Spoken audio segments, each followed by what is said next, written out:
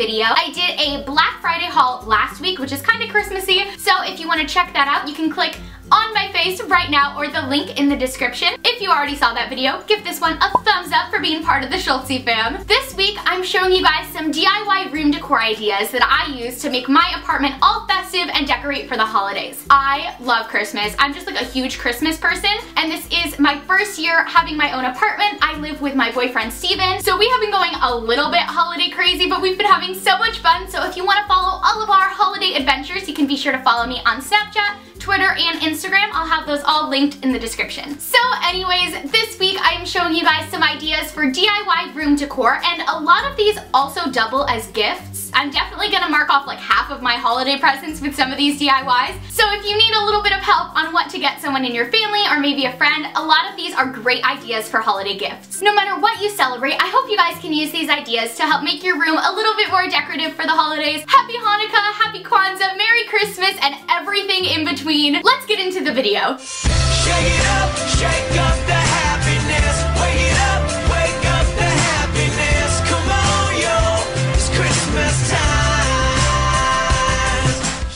My first DIY, I made these little winter snow globes and they are seriously so adorable. They're super easy to make and it only takes a few minutes.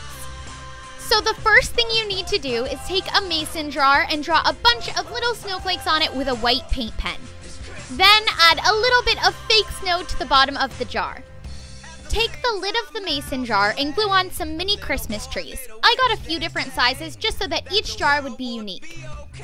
Put the lid back on the jar, tie some red yarn around the top, and you're done.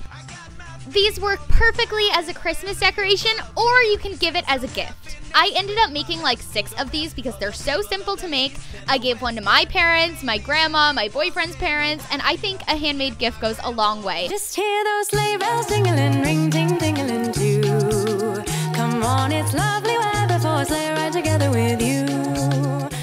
When the holidays roll around, I love to make a wreath to hang on my bedroom door, and this year I think it came out so pretty.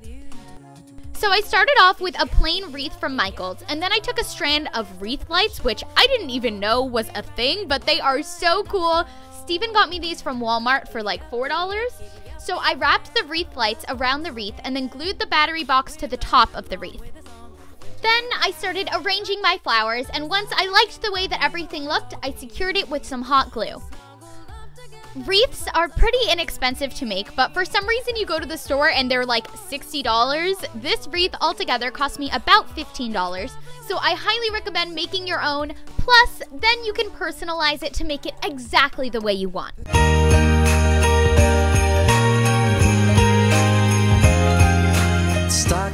I strung some pine cones above my couch, and I think that it is the perfect touch to decorate a small wall, like above your bed or a couch or anything like that. All you need is a bag of scented pine cones, red yarn, white paint, and glitter.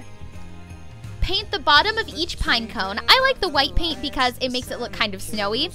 And then just roll it in some glitter if you like sparkles as much as I do. Tie the pine cones to a piece of yarn, and it's done. That's all there is to it. If you have leftover pine cones like I did, there are so many great decor ideas that you can make with pine cones. I added some of mine into a big glass jar along with some ornaments from Dollar Tree. Then I still had some left over, and this is from one $3 bag of pine cones from Michaels. So I added them to this little gold tray with a sparkly candle. won't be wrapped under a tree. I want something to last forever. So kiss me on this cold December night. The next DIY is this little countdown to Christmas decoration, and this is so fun to have in our apartment. We have been counting down since like mid November. For this DIY, paint the outside of a ceramic plate with any color. Then paint the inside with a few coats of black chalkboard paint. Once it's dry, write Countdown to Christmas on the outside of the plate.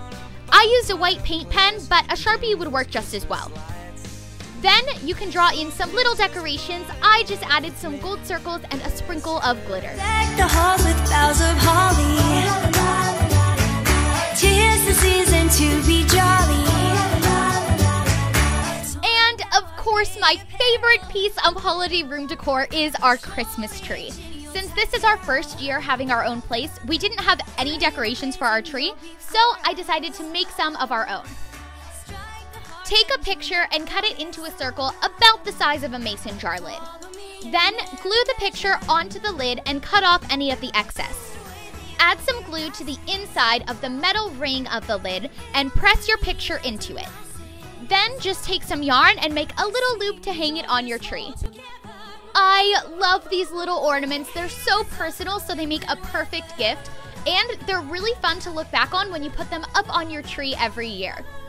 Also, I feel like most of the times when I do a craft with mason jars, I don't usually use the lid, so it's a great way to make use of them. Last Christmas, I gave you my heart, but the very next day, you gave it away. Throw pillows are like my weakness. I love them, but getting new ones for every season can get super expensive. So, to save money this year, I tried something new and I ordered throw pillow covers in holiday patterns and then just zipped them over the pillows I already had. Then I decided to decorate a few of mine to add some color to the bed. For the first one, I just took some ribbon and glued it onto the pillow cover like a present. And for the second one, I took some silver puffy paint and decorated the white lines with a little bit of glitter. This worked out so well. All I had to do was zip the pillow covers on when they were done, and once Christmas is over, I'll just zip them right back off.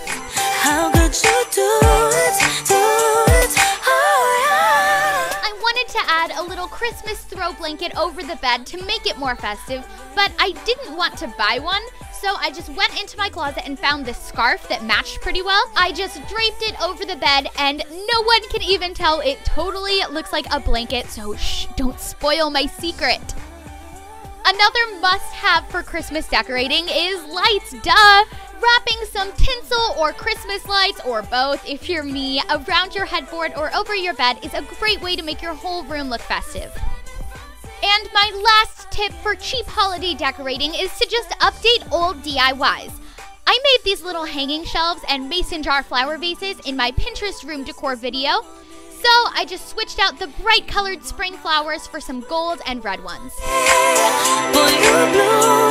That is it for my video. I really hope you guys liked it. Be sure to give it a thumbs up if you want more Christmas videos. And if you have any requests on what kind of videos you'd like to see on my channel this holiday season, make sure to leave those in the comments below and I promise I read all my comments and I'll try to get to them this holiday season. Thank you so much for watching. We'll see you next week. Bye! So yes, I ended up getting that coat. So this is it. It's just a long pea coat that goes like down to my mid-thigh and it has gold buttons and gold details and a belt with little gold emblems on it and it is so so cute and so comfy. This is definitely my favorite thing that I got.